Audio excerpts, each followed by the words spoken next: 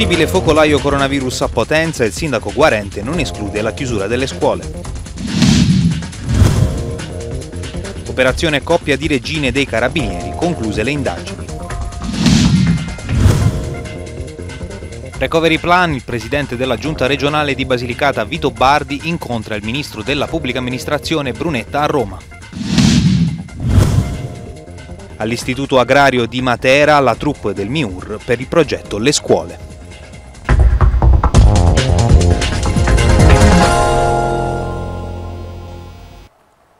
Ben ritrovati in studio, apriamo questa edizione del nostro giornale con l'emergenza coronavirus e allora diamo subito un'occhiata ai nuovi dati aggiornati sui contagi e sui vaccini della Task Force regionale. 169 casi positivi su 1386 tamponi molecolari analizzati non permette di abbassare la guardia al nuovo bollettino della Task Force Lucana. Tra i nuovi contagi ce ne sono 25 a Matera, 30 a Potenza, 20 a Montescaglioso, 19 a Policoro, 8 a Pisticci e a Venosa. Quattro persone non sono residenti in Basilicata. La pressione ospedaliera resta sotto controllo anche se salgono a 87 le persone ricoverate, di cui 5 in terapia intensiva, 3 a Matera e 2 a Potenza. In diversi centri della Basilicata, in particolare della provincia di Matera, continuano a far paura alcuni focolai come quelli di Montescaglioso e Pisticci, ma per ora non sembrano esserci all'orizzonte decisioni per la creazione di zone arancioni o rosse. A Potenza il sindaco Guarente non esclude di chiudere le scuole. Nessuno Nessuna vittima nelle ultime ore, in totale sono 357, mentre i lucani attualmente positivi sono 3.579. Intanto sono risultati negativi i primi tamponi molecolari sui componenti degli uffici della Curia di Matera Ersina dopo il contagio di un collaboratore in servizio nell'Arcivescovado. I contatti stretti del paziente positivo, tra cui Monsignor Cagliazzo, dovranno rispettare l'obbligo della quarantena fiduciaria fino al quattordicesimo giorno dall'ultimo contatto. A Potenza e Matera, nelle tende donate dal Qatar, prosegue la campagna vaccinale per gli over 80 con ottimi risultati sulle adesioni. 300 i vaccinati nella giornata di martedì tra la città dei Sassi, Policoro e Montalbano, 450 gli anziani del capoluogo lucano che hanno ricevuto la prima dose. In Basilicata su 49.925 dosi consegnate ne sono state somministrate 33.273. La percentuale scende al 66,6%. E lo abbiamo sentito nel bollettino, a Potenza 30 nuovi contagi che potrebbero configurarsi come un nuovo possibile focolaio. Abbiamo intervistato il sindaco Mario Guarente che non esclude la possibilità di chiusura delle scuole. Vediamo. Sono state riscontrate diverse positività riconducibili principalmente a due istituti, un istituto eh, che ospita una scuola elementare media e un altro istituto invece che ospita uh, un asilo. Uh, nel primo caso parliamo di eh, circa 18 ragazzi risultati positivi, tutti ospiti di una casa famiglia, ai quali poi vanno aggiunti 5 operatori sempre eh, che eh, lavorano in questa casa famiglia, mentre per quanto riguarda eh, la classe dell'istituto che ospita invece la scuola per l'infanzia, ci sono state riscontrate 5 nuove positività che si aggiungono alle due che poi hanno in un certo qual senso destato l'attenzione e quindi portato ad uno screening dell'intera dell'intera classe dieci giorni fa. Eh, la situazione è sotto controllo, è costantemente monitorata dall'ASP con, con la quale sono eh, in contatto praticamente ogni ora e insieme all'assessore all'istruzione stiamo valutando, oltre, ovviamente anche con la collaborazione dei presidi, le azioni da mettere in campo di qui per i prossimi giorni. Certo, eh, verosimilmente si rende necessario un altro screening di massa che si aggiunge a quello fatto nel mese di dicembre per verificare un poco lo stato delle cose all'interno delle scuole e non deve destare preoccupazione questo, uh, questo episodio che speriamo rimanga isolato, almeno non deve destare la nostra preoccupazione in questo momento. E ora la politica proseguono a rilento le trattative nella maggioranza per definire i posti da sottosegretari nel nuovo governo, a tenere in stallo le nomine, i confronti interni tra Movimento 5 Stelle e Partito Democratico. Vediamo. Il governo di Mario Draghi non è stato ancora completato con le nomine degli altri alti incarichi, ovvero quelli dei sottosegretari. Il Totonomi è già partito da tempo. Le formazioni politiche della maggioranza hanno consegnato al Premier le rispettive rose di nomi. Il riservo nelle stanze di Palazzo Chigi dell'era Draghi però è massimo. A rallentare la chiusura dell'assetto definitivo della nuova squadra di governo, oltre all'emergenza pandemica e al piano vaccini, i problemi di natura politica nel movimento Movimento 5 Stelle, formalizzati anche con la costituzione del gruppo degli scissionisti alla Camera e oggi in Senato, che si vede così ridotta la quota spettante da 13 a 10 sottosegretari. Il confronto nei pentastellati potrebbe avvantaggiare qualcuno degli esponenti locali del governo uscente in corsa per la riconferma. È il caso ad esempio della Lucana, sottosegretaria Mise Mirella Liuzzi, giovane, donna, preparata, vicina al presidente della Camera Roberto Fico e grillina della prima ora. In casa Dem, invece, il già sottosegretario alle infrastrutture, Salvatore Margiotta, Lucano pure lui, incrocia le dita in attesa della direzione del Partito Nazionale convocata giovedì con un ordine del giorno che non promette nulla di buono per gli aspiranti di sesso maschile, l'affermazione di un partito di donne e di uomini al centro di una nuova fase politica. Confronto aperto anche in casa Forza Italia, dove circolano i nomi del pugliese Francesco Paolo Sisto alla giustizia e del lucano Giuseppe Moles all'istruzione. Infine è nella Lega di Matteo Salvini che ci sarebbero buone possibilità per il senatore lucano Pasquale Pepe. Il sindaco di Tolve infatti è stato tra i primi amministratori meridionali ad abbracciare la causa leghista e Salvini ha bisogno di puntellare soprattutto l'area meridionale dopo la campagna di arruolamento portata avanti dai Fratelli d'Italia anche in regione Basilicata. Per Pepe si parla di un posto da sottosegretario al ministero che fu di Teresa Bellanova, dove anche l'altro pugliese, ma del Movimento 5 Stelle, sottosegretario uscente Giuseppe Labate, non sarebbe dato tra i favoriti per la riconferma. Altro ex che saluta la squadra di governo, il professore tarantino Mario Turco, sottosegretario alla Presidenza del Consiglio con delega alla programmazione economica e agli investimenti pubblici. Adesso invece parliamo di Recovery Plan. Il presidente della giunta regionale di Basilicata Vito Bardi ha incontrato a Roma il ministro della pubblica amministrazione Renato Brunetta con il governo di estendere. Il presidente della giunta regionale di Basilicata, Vito Bardi, ha incontrato a Roma il neo ministro della pubblica amministrazione Renato Brunetta. I due hanno discusso del futuro della pubblica amministrazione, la vera chiave di volta nel sistema in vista del recovery plan. Quello presieduto da Brunetta è probabilmente il dicastero chiave nella gestione dei 209 miliardi che arriveranno in Italia e il presidente Bardi si è fatto portatore delle richieste di un territorio che invoca digitalizzazione, certezza e velocità delle procedure autorizzative e un'adeguata formazione del personale amministrativo. Quello tenutosi a Roma è stato un incontro svoltosi nella più cordiale collaborazione, nella speranza che il nuovo governo possa imprimere un nuovo impulso alle politiche pubbliche e in particolare per le aree interne del Mezzogiorno. Con Renato Brunetta, dichiarato Bardi, ci siamo dati appuntamento tra qualche mese per verificare insieme le necessità della Basilicata in vista del Recovery Fund. La nostra regione deve avere un ruolo da protagonista. È stato un piacere parlare con una persona di grande statura culturale come pochi in Italia Italia, che conosce le regole e le riforme di cui ha bisogno la pubblica amministrazione sia a livello territoriale che nazionale. Adesso parliamo invece del processo Total Gate, tutti assolti gli imputati, vediamo. È arrivata la soluzione perché il fatto non sussiste per tutti gli imputati nel filone conclusivo del processo Totalgate. Ad esprimersi è stata la Corte d'Appello di Salerno, secondo quanto emerso da fonte giornalistica dopo l'annullamento della sentenza di assoluzione in secondo grado da parte della Cassazione per le persone chiamate in causa, i dirigenti della Total Roberto Francini e Roberto Pasi, Roberto Giliberti, ex consulente della multinazionale petrolifera e l'ex dirigente presidente dell'ufficio tecnico del comune di Corleto Perticara Michele Schiavello, caduta dunque l'accusa di concussione risalente al 2007, con la quale gli imputati avrebbero esercitato pressioni sui proprietari terreni dove poi è stato costruito il centro oli di Tempa Rossa, una manovra ritenuta a suo tempo utile per ottenerne l'esproprio a prezzi di favore. L'inchiesta nacque presso la Procura di Potenza e portò a nove condanne al termine di un processo di primo grado. Seguì l'appello quello che ribaltò la sentenza con assoluzione degli imputati e prescrizione per altri.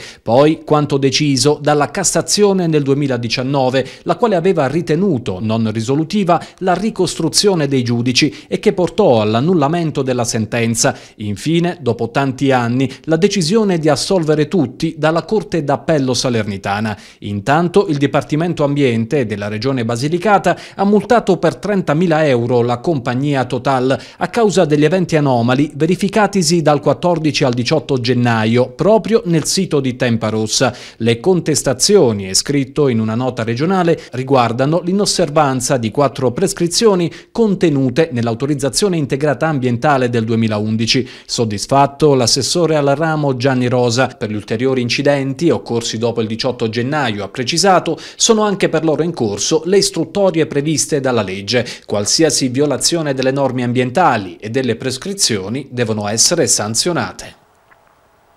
Ed è stato inaugurato a Potenza l'anno giudiziario 2021 del TAR di Basilicata. Vediamo. Nel 2020 il TAR della Basilicata ha quasi ormai eliminato l'arretrato per i ricorsi ultradecennali, 11 quelli pendenti rispetto ai 20 dell'anno precedente, e per quelli ultraquinquennali da 141 del 2019 ai 17 odierni. Questo è uno dei dati illustrati a Potenza dal presidente del TAR Basilicata Fabio Donadono nel corso della cerimonia di inaugurazione dell'anno giudiziario 2021. I ricorsi ultratriennali che vanno al pari considerati come un effettivo arretrato da eliminare si sono dimezzati, attestandosi a proseguire seguito a 92 rispetto ai 176 dell'anno precedente. Ne consegue che risultano non solo raggiunti ma ampiamente superati gli obiettivi posti nel programma di gestione dell'arretrato per il 2020. Sono certo, ha dichiarato Donadono, che il vostro giudizio sul nostro operato potrà essere per noi motivo di conforto e di stimolo. Al 31 dicembre 2020 risultano infatti pendenti 691 ricorsi con una riduzione rispetto all'anno precedente del 20,5% e con una diminuzione dei nuovi ricorsi depositati depositati e di una flessione dei ricorsi definiti. Nel 2021 sono state invece autorizzate tre udienze straordinarie per consentire la diminuzione, ovvero possibilmente l'eliminazione dei residui ricorsi ultratriennali pendenti. Donadono ha infine rivolto nel corso del suo intervento un pensiero innanzitutto alle persone, oggi oltre 95.000, che non sono più tra noi a causa della pandemia, a coloro che hanno perso un congiunto o un amico, a chi non ha più il lavoro, a coloro che hanno sofferto menomazioni nel corpo e nello spirito, sopportando privazioni e limitazioni negli affetti e nei rapporti umani, con la compromissione di beni fondamentali che avevamo sempre finora considerato come irrinunciabili ed incomprimibili. E ora una notizia di cronaca, due uomini, uno residente in Campania, l'altro residente in Calabria, sono stati denunciati dai carabinieri in servizio antibracconaggio dell'area del Parco Nazionale del Pollino con le accuse di detenzione di armi e oggetti atti ad offendere. I due erano a bordo di un autocarro che trasportava otto cani da caccia e alcuni borsoni. Verificata la regolarità del trasporto dei cani, i militari hanno controllato i borsoni trovando due coltelli da cucina, una mannaia, tre coltelli a serramanico, due pugnali e un pugnaletto che sono sono stati poi sequestrati. E ancora alla cronaca si sono concluse le indagini dei carabinieri nella maxi operazione Coppia di Regine. Vediamo. Spaccio di droga tra minorenni e studenti, un'associazione con base a Ersina che provvedeva alla cessione dello stupefacente anche a Grassano e davanti alle scuole di Matera, organizzata gerarchicamente e con compiti ben delineati e precisi. I carabinieri hanno consegnato a otto degli indagati nell'operazione Coppia di Regine gli avvisi di conclusione delle indagini preliminari emessi dalla Procura della Repubblica presso il Tribunale per i minorenni di Potenza. L'indagine, che ha portato finora all'emissione di 32 ordinanze di custodia cautelare, è stata coordinata dalle procure distrettuali antimafia di Potenza e Bari. È stata intitolata Coppia di Regine perché a coordinare lo spaccio c'erano Irsina e a Gravina in Puglia due donne. Nel paese del Materano, secondo l'accusa, la donna indagata faceva spacciare anche due figli, uno dei quali di nove anni. Le indagini sono cominciate nel 2016 quando una donna, insospettita per la presenza di foto di droga sul telefono del figlio, si è rivolta ai carabinieri di Grassano. Poi il proseguimento delle indagini con intercettazioni telefoniche ambientali, pedinamenti, appostamenti e sequestri, tanto da far emergere un fiorente traffico di sostanze stupefacenti e soprattutto le sinergie tra il sodalizio lucano e quello pugliese. E adesso cambiamo argomento. La Camera di Commercio di Basilicata ha organizzato un webinar sul tema gestione finanziaria delle imprese. L'importanza di una corretta gestione finanziaria, tema del secondo di un ciclo di tre webinar promosso dalla Camera di Commercio della Basilicata a supporto degli imprenditori nella prevenzione delle crisi d'impresa. Anche l'appuntamento di mercoledì 24 febbraio è stato notevolmente partecipato, non solo in termini di presenze numeriche, dato anche l'interesse dei temi al centro del seminario digitale, che ha richiamato davanti ai monitor gli imprenditori lucani interessati a prevenire, cambiare e reagire per tempo alle nuove esigenze dei mercati. Primo tra gli esperti relatori che si sono avvicendati nel corso di questo secondo appuntamento, Lorenzo Pagliuca, vicepresidente nazionale Piccola Industria di Confindustria, che ha affrontato il tema della riforma introdotta dal decreto legislativo numero 14 del 2019, ovvero quello relativo al codice delle crisi d'impresa e dell'insolvenza, al suo è seguita una relazione della cofondatrice di Per Consulting, Lorena Ponti, la cui relazione è stata focalizzata sulla prevenzione della crisi e sul come cogliere i segnali di pericolo. Giuseppe Lazzano, esperto commercialista dello studio Moscato, ha affrontato il tema della pianificazione finanziaria il corretto trade-off, scambio tra indebitamento e capitale proprio. Vincenzo Cantelli, anch'egli commercialista salary partner di NCTM, studio legale associato di avvocati e professionisti con sedi a Milano, Roma, Londra, Bruxelles e Shanghai, ha affrontato il cruciale tema della valutazione dell'impresa, principi e strumenti. Il tavolo digitale, come sempre, moderato da Gianmarco Paglietti di Nexta, che con l'azienda speciale Asset Basilicata realizza l'iniziativa, si è concluso con una sessione di domande e risposte. Terzo e ultimo appuntamento, il 3 marzo prossimo, sul tema il ruolo della fiscalità nella gestione dell'impresa. Adesso invece andiamo a Matera dove continua la discussione in Consiglio Comunale che porterà all'approvazione del regolamento urbanistico della città. Si procede per schede, emendamenti e votazioni. Intanto nei giorni scorsi sono intervenuti gli ordini professionali di architetti, ingegneri e geometri della provincia di Matera che hanno denunciato uno scarso coinvolgimento non raccogliendo l'invito alla collaborazione. Proprio per la sua unicità ormai riconosciuta a livello planetario, scrivono, Matera è una città in cui il dibattito sull'urbanistica è sempre stato avamposto di una marcata marcata vivacità culturale che ha interessato trasversalmente le diverse componenti sociali e professionali del territorio. Gli ordini professionali aspirano ad assolvere un ruolo di insostituibile cerniera, capace di farsi interprete delle istanze della collettività e di trasformarle in impulsi ad uso della pubblica amministrazione. E adesso andiamo a Potenza per parlare di politiche giovanili. Alcuni luoghi della città versano in stato di degrado proprio per colpa di alcuni giovani. Vediamo. Uno spettacolo indecoroso, allarmante non solo perché accompagnato dall'indifferenza, ma anche e soprattutto per i risvolti sociali per una città di provincia. Queste immagini di degrado arrivano da Rione Poggio Tregalli e Piazza Bologna, zone popolose di Potenza, a volte dall'abuso di alcol giovanile. La denuncia arriva da residenti ed esercenti, stanchi di una situazione divenuta routine con l'emergenza pandemica. Persone in civile, dei ragazzi, soprattutto ragazzi, ragazzi. Io ho trovato proprio uno che faceva la la pipì. E ho detto pure, scusate, ma che cioè, è un bagno? Mi ha risposto, signora, quando mi scappa, se, se mi scappa, mi scappa. Devo chiamare i vigili, chiama chi vuoi. Allora, quando vedi questi ragazzi che sono in questo modo, che fai? In tre anni di attività ho pulito forse 12 volte e purtroppo dopo due settimane massimo ritorna così la situazione. E dobbiamo un attimino capire come risolvere il problema. Bisogna cercare di fare il più possibile una sensibilizzazione per i ragazzi. Forse qualcosa noi come attività potremmo fare, magari chi prende il bicchiere di plastica, la bottiglia, eh, dare magari un incentivo al ragazzo, chi riporta la bottiglia ha uno sconto su quello che poi consumerà eh, in seguito. A parlare del lavoro in atto sulle politiche sociali l'assessore comunale Fernando Picerno. Ultimamente stanno aumentando questi fenomeni di questi giovani che diciamo eh, si danno all'alcolismo con eh, con l'assessore alla pubblica istruzione vogliamo eh, cercare di coordinare nelle scuole con eh, i dirigenti scolastici coordinare un po' il tutto, vorremmo fare qualche incontro con i nostri uh, assistenti sociali e psicologi del comune per eh, far capire a questi ragazzi il momento critico della situazione. Rivolto un appello alle famiglie del capoluogo lucano. Prima diciamo, i punti di riferimento erano la, la, famiglia in primis, ripeto, poi c'erano le scuole e chi, per, chi era cattolico e c'erano le parrocchie. Una per un caso, un'altra per un altro sono venute meno, allora è importante riprendere questi valori. Torniamo a Matera dove a Casino Padula sono state presentate le nuove iniziative della Fondazione Matera Basilicata 2019.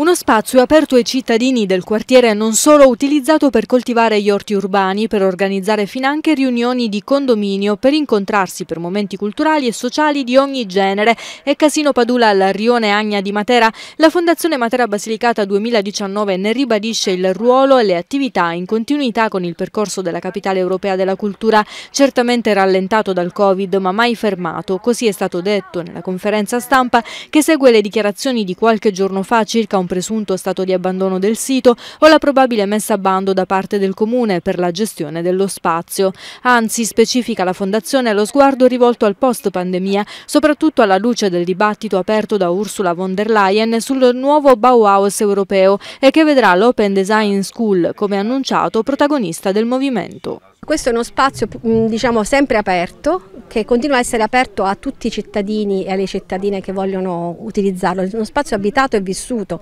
aperto ai cittadini che stanno prendendo cura degli orti, di comunità, aperto ai bambini che giocano a calcio a, o vanno in bicicletta, aperto ai signori che, che come lì sotto quell'albero amano leggere un libro, a fare riunioni condominiali in piena sicurezza eh, en plein air.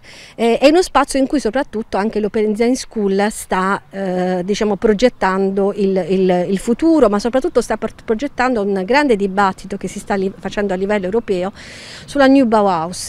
E in questo dibattito lanciato in maniera diciamo così, molto autorevole dalla, eh, dalla, Presidente della Commissione europea Ursula von der Leyen ha detto io le, le prossime diciamo, il, eh, voglio lanciare sei New Bauhaus in, in tutta Europa. E la cosa interessante è che l'esempio, uno degli esempi eh, di riferimento per questa New Bauhaus è l'Open Design School di Matera. Gettando lo sguardo al post pandemia, cosa sarà Casino Padula per la città e per il quartiere in particolare? Allora, questa è una scelta che sta nel, nel sta, spetta al comune, che ricordiamo è uno dei principali soci della fondazione, spetta al comune perché il Casino Padula è del comune di Matera ed è il comune che ha una sua idea di città, un suo piano di città e quindi ha, diciamo così, eh, fa delle scelte legittime in questo senso. Noi stiamo dialogando col comune, abbiamo, stiamo, diciamo, ci vedremo anche a breve per eh, capire in generale qual è diciamo, l'uso migliore che possiamo fare degli spazi perché siano degli spazi attivatori, delle piattaforme, si dice la parola piattaforma, che è una parola parola forse abusata, ma dà il senso del fatto che la piattaforma vuol dire che uno spazio è a servizio di tutti e che una, ha un effetto moltiplicatore, un effetto di, di, di eh, moltiplicatore delle energie cittadine. In chiusura all'Istituto Agrario di Matera è arrivata una troupe del Ministero dell'Istruzione per il progetto Le Scuole. Una mattinata diversa, quella vissuta dai ragazzi dell'Istituto Tecnico Agrario di Matera Gaetano Briganti, che si sono dovuti prestare insieme alla preside e al corpo docente della scuola a fare da attori per un video nell'ambito del progetto nazionale Le Scuole promosso dal Ministero dell'Istruzione. La scuola è stata pacificamente invasa da una troupe televisiva del Ministero, guidata dal curatore del progetto Fabrizio D'Agosta, che grazie alla preside Carmela Gallipoli, che ha fatto loro da Cicerone, ha documentato le numerose attività della scuola. Nonostante i progetti e il lavoro scolastico al momento siano ridimensionati a causa della pandemia e la didattica in presenza sia ridotta al 50%, la troupe ha potuto documentare il grande lavoro dei ragazzi dell'ITAS di Matera alle prese con le produzioni agricole dell'azienda messa a disposizione dall'istituto e con quelle dei laboratori. Siamo orgogliosi oggi di partecipare al progetto Le Scuole lanciato dal Ministero eh, perché eh, abbiamo la possibilità di eh, illustrare quelle che sono le potenzialità eh, del nostro istituto. Il periodo è un periodo ehm, diciamo non bello, molto triste, eh, però eh, sia io sia i docenti e, e anche gli alunni grazie a Dio eh, cerchiamo di eh, reagire. La preside Gallipoli, grazie anche al lavoro dei docenti, specie della professoressa Loponte, sono riusciti, complice la qualità del piano didattico, a rientrare tra le scuole superiori meritevoli in Basilicata di un approfondimento da parte del progetto Le Scuole. Insieme all'Itas Briganti, il Ministero ha visitato anche l'Istituto Alberghiero Turi di Matera e l'Istituto Comprensivo Stella di Muro Lucano. Noi infatti siamo molto contenti di avere la possibilità di girare per le scuole italiane eh, perché sappiamo quanto in questo periodo sono andate in difficoltà, quanto la, la comunità scolastica si è, si è unita eh, e quindi era nostro proprio interesse andare a raccontare proprio le specialità, le, le, le, le eccellenze di queste scuole italiane eh, che molto spesso sono sotto l'occhio sempre della polemica e noi invece volevamo invertire questa tendenza al, in un racconto racconto positivo delle, delle realtà scolastiche italiane ehm, perché davvero ci stiamo accorgendo, ma già lo sapevamo, di, eh, di, di quanto potenziale c'è nelle scuole italiane. Per il momento ci fermiamo qui, grazie per averci seguito, io vi saluto, vi do appuntamento alla prossima edizione, arrivederci.